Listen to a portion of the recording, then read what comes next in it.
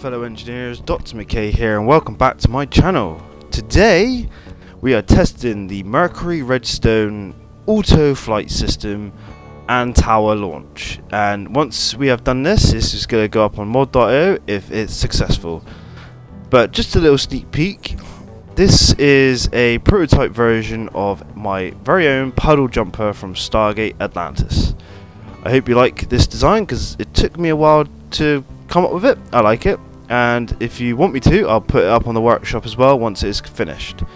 But let's get back to the real life rockets that we are designing in this in this uh, channel or in this uh, series of episodes.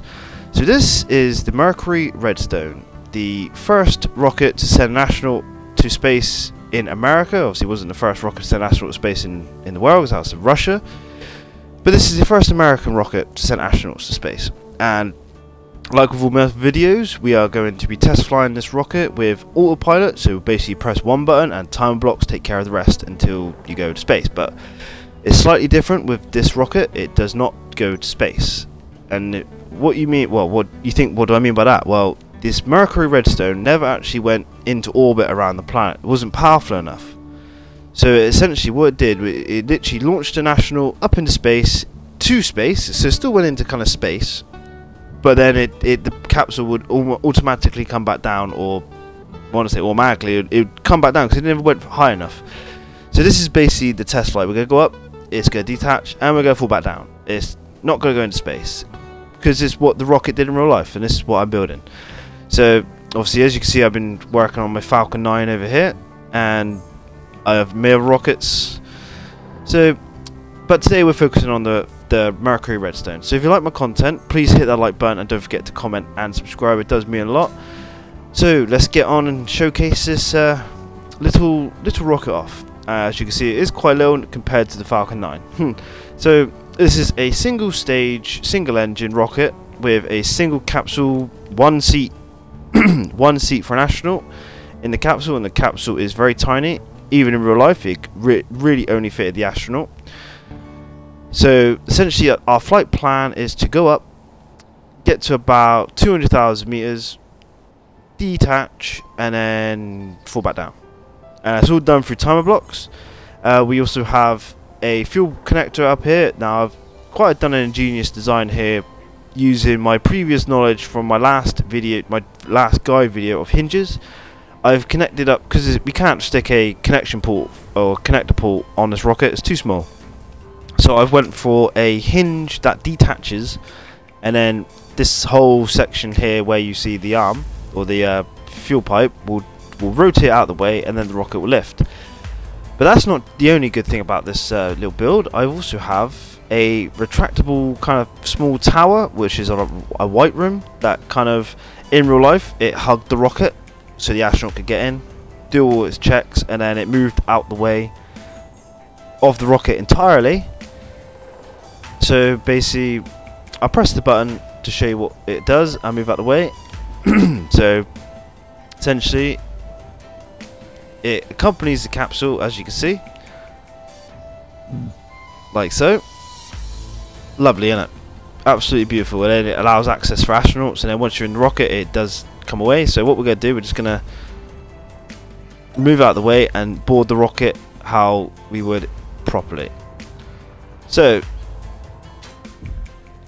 the first things you want to do with this build, if you want to use it, is obviously uh, subscribe to the blueprint and then blueprint it in this way orientated. Now if you're not if it comes up with a big square grid, not the actual picture, it might take a couple of attempts, but essentially that is it. There's nothing major you have to do, as far as I'm aware.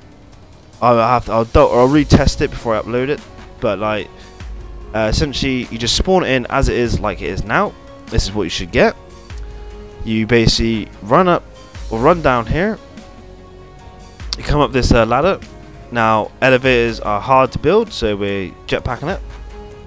You know, cheating. You come up to this level, come across onto the uh, white room. As you come in, you press this button. And it'll bring you to the capsule.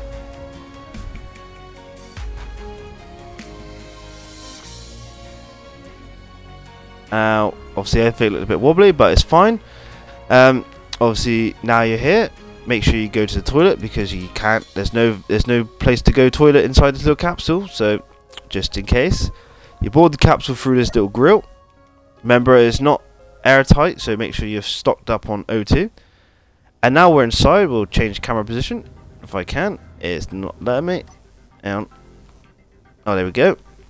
Obviously, this is our rocket now on the pad. And now what we're going to do, we're going to press down on the D-pad to remove that tower.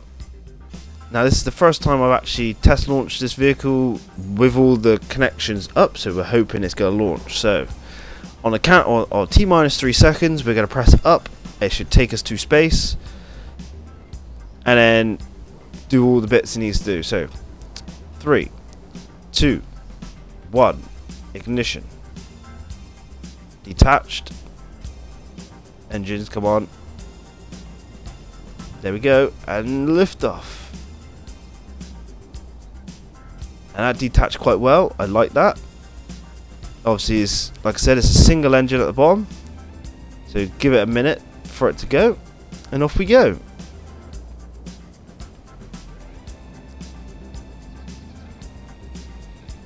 Look at that. Not bad. Hmm. I think I've got about three minutes on the timer block before stage separation. So what we're going to do, I'm just going to fast forward to that point. So I'll see you in a minute. And also, the escape tower does detach. And when it does, you may have to move out of the way. But you'll see. Alright, see you. See you in a minute.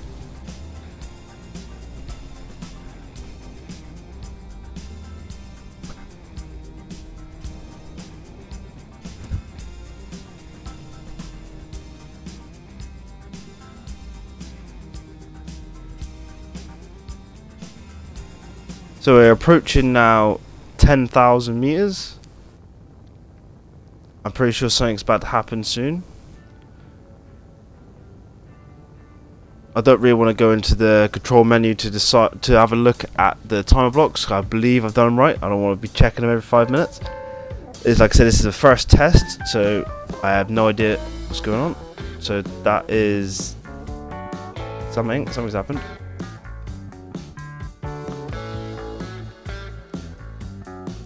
Okay.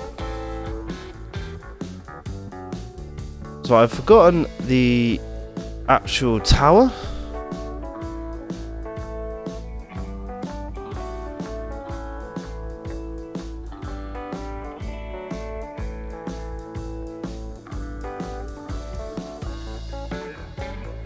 Okay.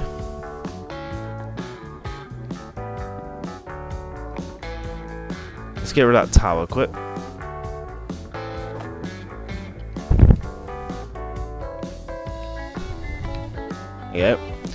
So, that was a bit of a fail. I think. Well, I say it's a fail. A successful test. We got to 10,000 meters, which is what the time block kind of worked to.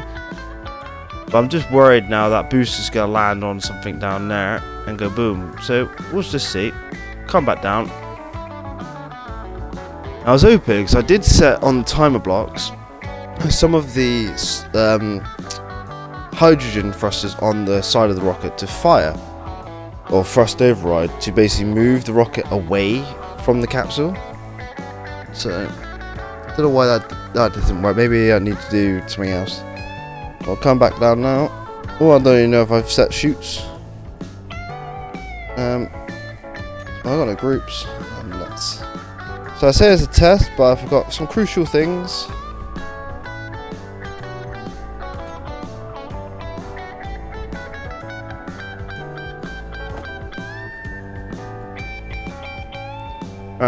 I may have to redo some timer blocks here to get it working right.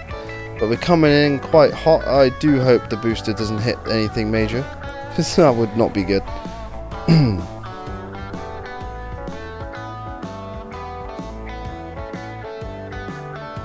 Alright, coming up to parachute at 500 meters. Don't know if it's going to deploy automatically. Don't think it is. And deploy it automatic or manually, should I say? Oh, straight on the landing pad. Boom, man. That's tough. That's tough. Kind of did what Falcon 9 does, but Boom. Let's drop those uh, chutes a minute.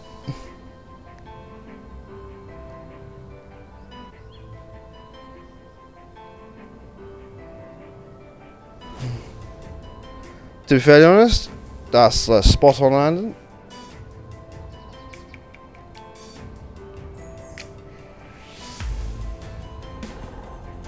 And we landed right next to it. Nicely. Well, there you have it then, folks. That was the uh, one of the first proper tests of the uh, uh, Mercury Redstone rocket. I just need to tweak a few little things on it. And once I do, I'll um, I'll probably do another test video just to test it out, make sure it all works fine. Obviously, I was going to do a, a mod.io uh, upload with this one, but I obviously haven't worked out all the kinks. So, thank you for watching. If you'd like this rocket video, uh, short as it may be and, and whatnot, uh, please hit the like button. Don't forget to comment and subscribe on your thoughts. And um, let me know on your thoughts on my next rocket build. I want to build the Mercury Atlas next and keep in line of um, rocket development. So obviously be the Mercury Atlas, then the Gemini, and then the Agena, roughly at the same time. And try and dock them in space. And then I'll probably do the Saturn uh, 1. And then we'll start doing some modern day rockets like the uh, Atlas 4, Delta 5. Well, Atlas 5, Delta 4, should I say. Um, you know, so yeah, let me know your thoughts. Uh, thank you for watching. I've been Dr. McKay, bringing you a brand new video on my rocket builds. Thank you for watching, and I'll catch you in the next one. Cheers.